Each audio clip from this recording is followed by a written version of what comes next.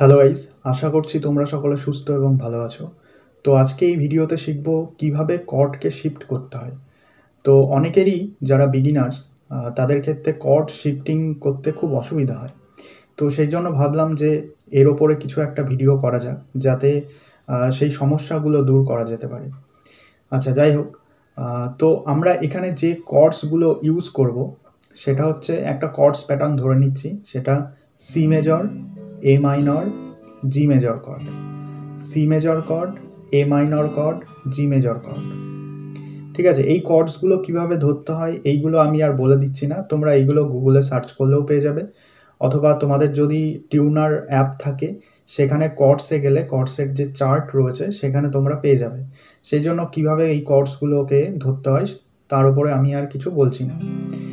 তো প্রথমে দেখো সি মেজর কর্ডসটাকে ধরবো। আমাদের প্রথম যে স্টেপ হবে, সেটা হচ্ছে সি মেজর কর্ডস বা কর্ডসগুলোতে সাউন্ড যেন প্রপার আসে। সি মেজর কর্ডস তারপর এ মাইনর কর্ডস তারপর হচ্ছে জি মেজর কর্ডস এইবার আমাদের যে ফার্স্ট স্টেপ হবে, সেটা হচ্ছে আমরা সি মেজর কর্ডস ধরবো। ধরে আমরা ডান দিকে মানে এই হ্যান্ডে আমরা কোনো স্ট্রাম করব না, ঠিক আছে? জাস্ট এইভাবে মুভ করব সি থেকে এ মাইনর তারপর জি আবার সি এ মাইনর জি এইভাবে আমরা জাস্ট কর্ডসগুলোকে শিফট করব, কোনো রকম স্টাম না করে।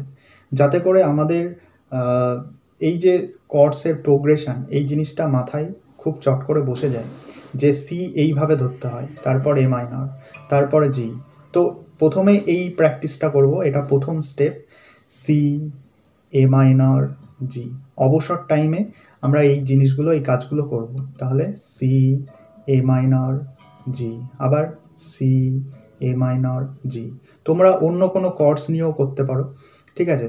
তো আমি এই তিনটে কর্ডসেই দেখাচ্ছি সি এ মাইনর জি আচ্ছা এখানে বলে রাখি সি আমরা যখন ধরছি, ঠিক আছে, তারপরে আসছি এ মাইনরে তো এ মাইনরে ধরতে গেলে আমাদের যে ফার্স্ট মানে এই ফিঙ্গারটা আর এই ফিঙ্গারটা রয়েছে ফার্স্ট ফিঙ্গার সেকেন্ড ফিঙ্গার যেখানে আছে সেখানেই থাকবে জাস্ট থার্ড ফিঙ্গারকে মুভ করাবো।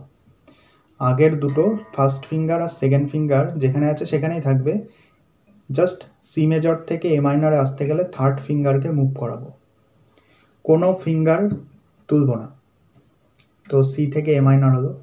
এবার জিতে গিয়ে পুরোটাই চেঞ্জ হচ্ছে। এটা প্র্যাকটিস করতে হবে।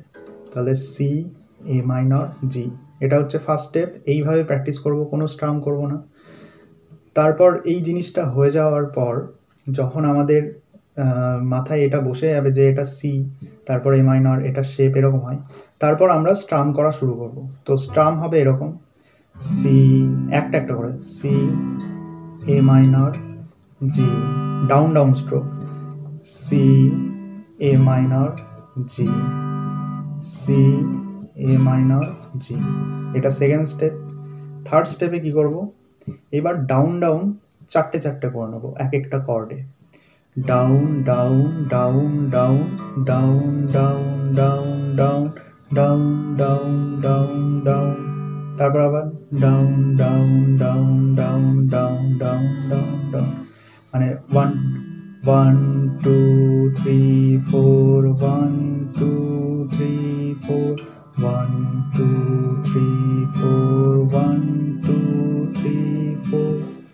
তো এটা আমাদের তিন নম্বর স্টেপ ঠিক আছে? তাহলে প্রথমে যে স্টেপ বাই স্টেপ যেভাবে আমরা এগোলাম, সেইভাবে আমরা করতে থাকব। তো আজকে আমি এই শুধু ডাউন স্ট্রোকটাই দিচ্ছি বিগিনার্সদের জন্য, এই কাজগুলো করবে। প্রথমে হচ্ছে যেটা বললাম যে কর্ডসগুলোকে ধরে প্রপার যে সাউন্ড সেটা যেন আসে মিউট যেন না হয়ে যায়। এরকম একটা মিউট সাউন্ড যেন না আসে, এইভাবে ধরবে কর্ডসগুলোকে আমাদের যে ফিঙ্গারটা আছে, এইভাবে উঠে আছে, কখনোই এরকম নেই। গিটারের ফ্রেড বোর্ডের সঙ্গে এইভাবে লেগে নেই। তো এইভাবে উঠে রয়েছে। এটা যেন এইখানে এইভাবে উঠে থাকে, এইখানেও যেন উঠে থাকে, যাতে প্লে করলে এই প্রপার সাউন্ড ক্লিয়ার সাউন্ডটা আসে।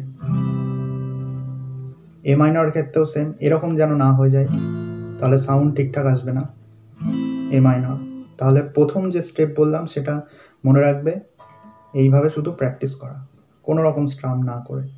তারপর সেকেন্ড স্টেপে একটা একটা করে strum C A minor G third স্টেপে এবার down down strum one two three four one two three four one two three four one two three four one two three four one two three four আস্তে করে দেখি দিই one two three four প্রথমে আস্তে আস্তে বাজাবে।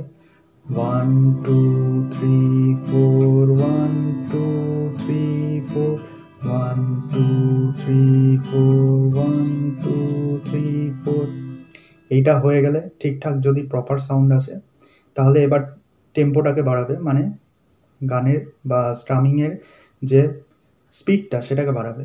One two three four one two three four one two three four one two three four one two three four one two three four তো আমি আজকে এই ভিডিওতে এইটুকুই দেখালাম।